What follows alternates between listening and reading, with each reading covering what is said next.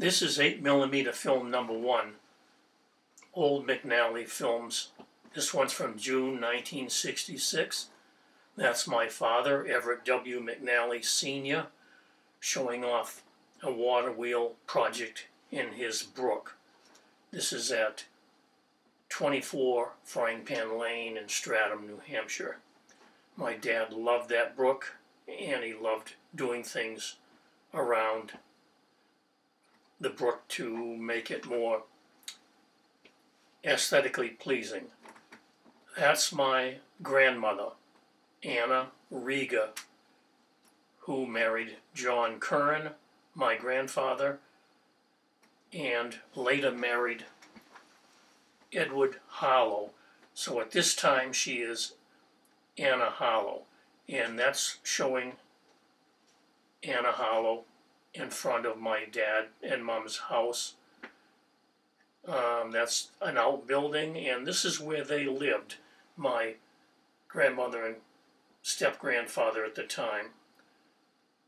Uh, that would be number 22 Frying Pan Lane, and there's still a mobile home there today. Um, that brook was kind of a swamp when my dad first moved there. That's my dad in front of his house with his dog. I believe his name was Sam. And my dad loved to cook outdoors. Looks like he's rotisserieing a couple of chickens in his probably mostly homemade barbecue. That's my younger sister, Nancy McNally, who at the time was Nancy LaChapelle.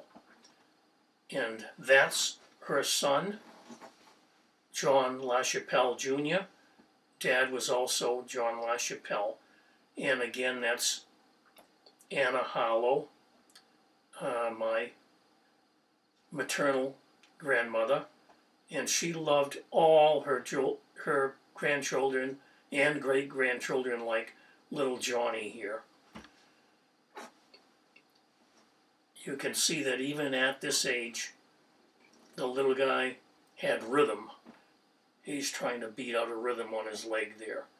While his mom gets a little needed rest, and his great grandmother, Anna Harlow, enjoys him. There he goes with his drumming. So that's the end of film number one.